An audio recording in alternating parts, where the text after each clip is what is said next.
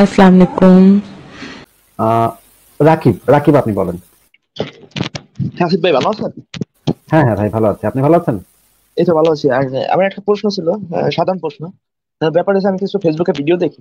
তো সেখানে ভিডিওতে আহ, দেখা যাচ্ছে কি যে আহ, মানুষ মারার মানে মারা যাওয়ার পরে যে কবর দেয় দেখা যায় দশ বছর পরেও আহ, সেই লাশটা অক্ষত থাকে। তো এই জিনিসটা বেশিরভাগ আহ, মানে বেশিরভাগ দেখা যায় যে হাফেজ। কোরআনের হাফেজ বা ইটি এদের লাশ অক্ষত থাকে। তো মানে এইটা ব্যাখ্যা এটা যে কোথায় পাওয়া গেছে, এটা মানে কোথায় পেয়েছে সেই লাশটা, এটা কোনো সায়েন্টিফিক রিসার্চ সেন্টারে পাঠানো হয়েছে কিনা অথেন্টিক নিউজ কিনা? এরকম তো অনেক উড়াধুরা বাঁশের কেল্লা টাইপের নিউজ আমরা পাই। অমুক সাপে নাকি, মানুষ নাকি সাপ হয়ে গেছে, তারপরে মানুষ নাকি কোরআন অবমাননা করছিল, এই জন্য সাপ হয়ে গেছে। তারপরে আরেকদিন শুনলাম আমি যে যে চাঁদে নাকি দেড় বছর সাইজে দেখা গেছে। সবাই নাকি দেখতে দেখছে এরকম তো অনেক কথা। ফেসবুকে তো আরোই দেখা যাচ্ছে যে আহ, ফেসবুকে ফেসবুকটা তো কোনো অথেন্টিক নিউজ চ্যানেল না। এখানে যে কেউ যে কোনো কিছু লিখতে পারে তাই না ভাই? সেটা ঠিক আছে কিন্তু সেটা তো একদম মনে করেন ভিডিও আকারে অনেক লোক সেখানে থাকে বা তারপর সেই মরা লাশের উপর চুমাচামি মানে ভিডিও আকারে এই যে এই ধরনের ফেক ভিডিও কি বানানো যায় না? আপনি কখনো দেখেন নাই ফেক ভিডিও বানায় যে? সেটা ঠিক আছে কিন্তু একটা মরা লাশ নিয়ে এত লোকের ভিতরে এই ধরনের মানে এই ধরনের ঘটনা যদি ঘটে থাকে এটা যদি ঘটে থাকে তাহলে তো একটা অথেন্টিক নিউজ চ্যানেলে সেই জিনিসটা আসার কথা তাই না? যেমন ধরেন হ্যাঁ। বিবিসি সিএনএন তারপর হচ্ছে গিয়ে এই ধরনের যে অথেন্টিক নিউজ চ্যানেলগুলো আছে যে যারা অনেক পরীক্ষা নিরীক্ষার পর একটা সংবাদ প্রকাশ করে তাদের সাথে থাকার কথা। সেই রকম কি কোনো অথেন্টিক নিউজ চ্যানেল থেকে আপনি আমাকে দেখাতে পারবেন সেটা রেফারেন্স না ওই রকম আমার কাছে ই নাই কিন্তু আমি ইউটিউবে দেখতে প্লাস কিন্তু এই ধরনের ভিডিও তো যে কেউ যে কোনো ধরনের ইয়া করে বানাতে পারে। ধরেন আপনি কীভাবে ভেরিফাই করবেন যে একটা ভিডিও মনে করেন একটা লোক এই আজকে মারা গেছে আজকে আবার কবর থেকে তুলে আপনাকে বলে এই যে এই যে কবরটা দশ বছর আগে কবরটা করা হয়েছে এই যে দেখেন এখনও লাশটা অক্ষত আছে একদম অক্ষত। কিন্তু আসলে ঘটনা ঘটছে লাশটা লোকটা গতকালই মারা গেছে। এবং মানে জন্য এরকমটা কি বলে সম্ভাবনা একটু বলে একটু বলে ভাই, বলে আহ, ইসলাম প্রচারের জন্য যে মানুষ মিথ্যা কথা বলে সেটা তো একদম প্রমাণিত সত্য। কারণ হচ্ছে এই যে নীল আমস্ট্রং যে চাঁদে গেছে চাঁদে গিয়ে নাকি আজান শুনছে মিজানুর রহমান আজহারির মতো লোক সে এই ধরনের ওয়াজ করছে দেলার হোসেন সাইদি এই ধরনের ওয়াজ করছে। এগুলো ডাহা মিথ্যা কথা ভাই। কোথাও নীল আমস্ট্রং কোনোদিন এরকম কথা বলেনি চাঁদে গিয়ে। চাঁদে গিয়ে ইনফ্যাক্ট আজানই শোনা যাবে না। চাঁদে গিয়ে যদি কোনো সাউন্ডই চাঁদে কোনো বাতাস নাই চাঁদে কোনো সাউন্ড শোনা সম্ভব না। চাঁদে কোনো শব্দ নাই হ্যাঁ যেখানে বাতাস নেই সেখানে কোনো শব্দ নাই। এগুলো ডাহা মিথ্যা কথা। ইসলাম প্রচারের জন্য এরা মিথ্যা কথা বলে। ইসলাম এই প্রচারের ভিডিওতে দেখা যায় এবং ইসলাম প্রচারের স্বার্থে মিথ্যা কথা বলাটাও কিন্তু অনেক আলেম বলে যে ইসলাম প্রচারের স্বার্থে মিথ্যা বলা যায় যাচ্ছে। এই সত্য গোপন করা মিথ্যা বলা এগুলো যায় যাচ্ছে ইসলাম প্রচারের স্বার্থে। এখন এই মিথ্যাগুলা যে অসংখ্য আমরা মিথ্যা দেখেছি সেটা তো আমরা চোখের সামনে দেখতে পাই। আবার বলে যে মানে চাঁদ নাকি দুই ভাগ হয়ে গেছে এখন নাসা নাকি বলছে চাঁদ দুই ভাগ দুই ভাগ হয়ে গেছে। আমি নাসার ওয়েবসাইটে ঢুকে দেখছি ওরা বলতেছে চার দুই ভাগ হয়ে গেছে এরকম কোনো কোনো প্রমাণীয় প্রমাণও নাই এরকম এরকম কোনো খবরও নাই। এটার কোনো দূর দূরান্ত পর্যন্ত কোনো খবরও নাই যে চাঁদ দুই ভাগ হয়েছে এটা নিয়ে হাসাহাসি করে ওরা। তাই এই ধরনের জিনিস আমরা অনেক দেখছি এইরকম মিথ্যাচার। এখন আসেন যে দশ বছর আগে একটা লাশ সেটা অক্ষত পাওয়া গেছে এবং আপনি বলতেছেন তাদের ভিতরে বেশিরভাগই নাকি আলেম আলেম ওলামা হুজুর টুজুর হ্যাঁ? হ্যাঁ, কোরআ- কোরআনের পাখি বেশিরভাগ থাকে। ভাই এটা তো একটা হাস্যকর ব্যাপার হয়ে গেল না যে তাহলে তো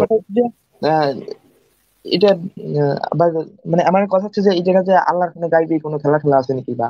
আগে তো এই খবরটা যে সত্য আগে যে খবরটা সত্য আগে যে খবরটা সত্য সেটা তো ভেরিফাই করতে হবে। তারপর তো এটার পেছনে আল্লাহ সেখানে অনেক দেখা যায় যে ভাই হাজার রাকিব ভাই একটু শুনে নেন একটু শুনে নেন একটু শুনে নেন। আগে তো খবরটা ভেরিফাই করতে হবে। কারণ আমি নিজে শুনেছি যে গণেশ দেবতা দুধ খায়। এটা লক্ষ লক্ষ লোক নিজ চোখে দেখে দেখছে বলছে তারা। হম, পত্রিকা পত্রিকাতে বলছে। তো তো গণেশ দেবতা দুধ খায় এটা তো কোনো এটা তো ফাও কথা। চারিদিকে চাঁদে দেখা গেছে, হাজার হাজার লোক দেখছে, হাজার হাজার লোক দেখছে।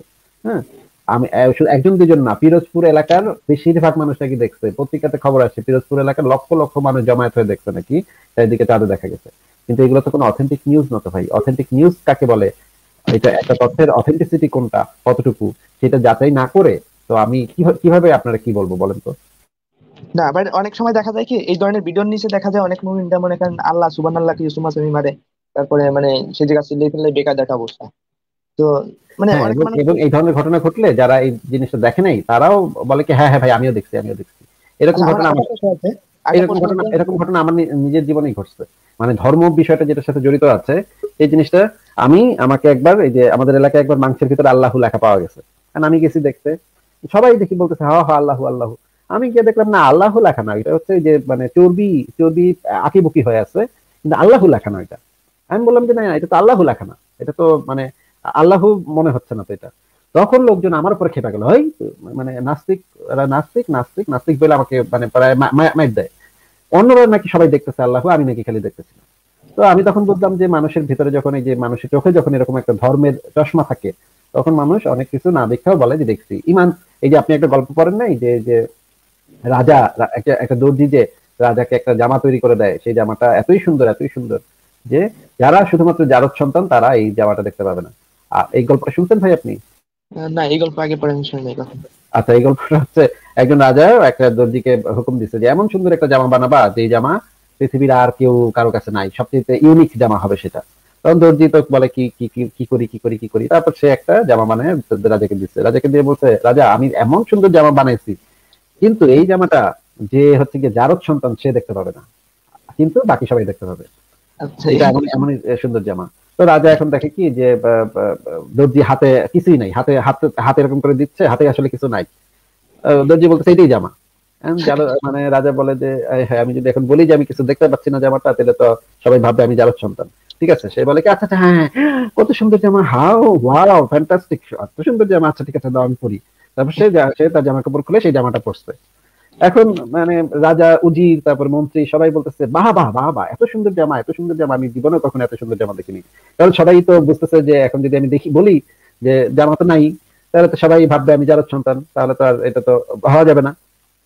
তারপরে সবাই বলতেছে, চলেন যে আমরা রাস্তা দিয়ে ঘুরবো এখন এই জামা পরে, সবাইকে প্রজাতিদেরকে দেখাবো।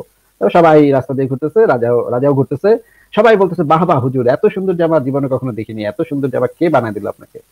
পরে তখন এই যে একটা ছোট একটা বাচ্চা ছেলে যাচ্ছিল, পাশ দিয়ে খেলছিল। সে চিৎকার করে বলতেছে, ও, রাজা দেখি ন্যাংটা, রাজা দেখি ন্যাংটা। তখন তখন মানে মানে গোমর ফাঁস হয়ে গেল যে আসলে রাজা তো ন্যাংটা। হ্যাঁ তো এই এই ঘটনাটা ধর্মের ক্ষেত্রে ঘটে যে যারা যে জিনিসটা দেখে নাই, তারা নিজেদেরকে ইমানদার প্রমাণ করার জন্য সাধারণত বলে যে হ্যাঁ হ্যাঁ দেখছি দেখছি দেখছি। হ্যাঁ হ্যাঁ এটাই কারণ সবাই চায় নিজেকে একটু ধর্মপ্রাণ হিসেবে প্রমাণ করতে। রাকি ভাই, আর কি কিছু বলবেন?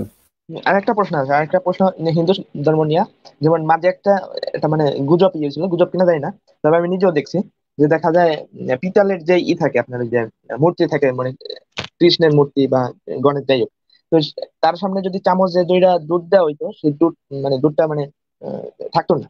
তো মানে এইটা কোনো মানে বৈজ্ঞানিক খাবার অন্য কোনো, আপনার কোনো ব্যাখ্যা আছে কিনা? হ্যাঁ এটার তো অনেক বৈজ্ঞানিক ব্যাখ্যা দেওয়া হয়েছে অলরেডি প্রবীর ঘোষের কয়েকটা বই আছে, অলৌকিক নয় লৌকিক, এক থেকে পাঁচ খণ্ড। এটা ভাই আমাদের সংশয় ডট কমে দেওয়া আছে। আপনি একটু কষ্ট করে ডাউনলোড করে পড়তে পারেন। এইগুলাতে এই সমস্ত কিছুর ব্যাখ্যা বিশ্লেষণ সব দেওয়া আছে। আচ্ছা এটা সংশয় ডট কমে আছে তাই তো? হ্যাঁ হ্যাঁ সংশয় ডট কমের গ্রন্থাগার সেকশনে আপনি এই বইগুলো পাবেন ডাউনলোড করে পড়তে পারেন। আচ্ছা, অলৌকিক নয় লৌকিক? পিডিএফ আকারে আছে? পিডিএফ পিডিএফ আকারে আছে? পিডিএফ আকারে আছে হ্যাঁ। আচ্ছা ঠিক আছে আমি ডাউনলোড করে পড়ব আর ঠিক আছে ই করার জন্য ধন্যবাদ। ঠিক আছে ভাই আপনাকে আজকে বিদায় জানাচ্ছি তাহলে ভালো থাকবেন। আচ্ছা ঠিক আছে আপনি ভালো থাকবেন। আচ্ছা ঠিক আছে।